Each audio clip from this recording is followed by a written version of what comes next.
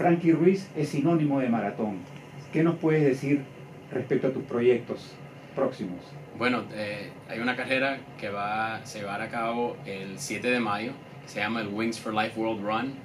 Es una carrera única que de verdad, no, que, que yo sepa, no hay una carrera que tenga este mismo formato, donde los corredores empiezan todos juntos, este, van a pensar en el BB&T Center, eh, todos juntos y un carro lo va a perseguir 30 minutos después que todo el mundo salga, un carro lo sigue. Y cuando ese carro te alcance, la carrera suya termina.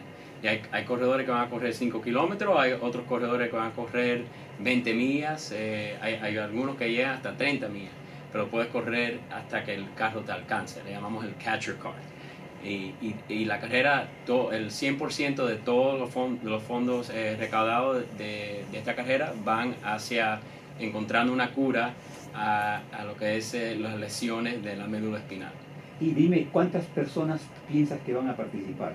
Bueno, el, el, primer año, que fue hace cuatro años, tuvimos menos de mil personas y este año se esperan que van a, van a haber más de tres mil eh, corredores allá. ¿Cómo crees que se ha incrementado el entusiasmo por correr en, esta, en, en Miami?